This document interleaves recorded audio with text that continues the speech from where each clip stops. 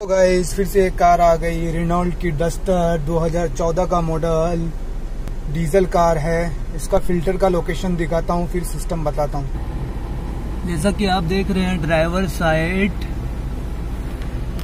Steering column के नीचे ही filter दिया है।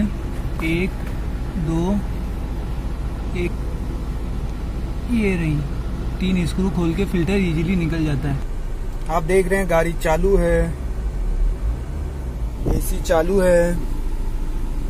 एसी का स्विच ये दिया है। एसी चालू है।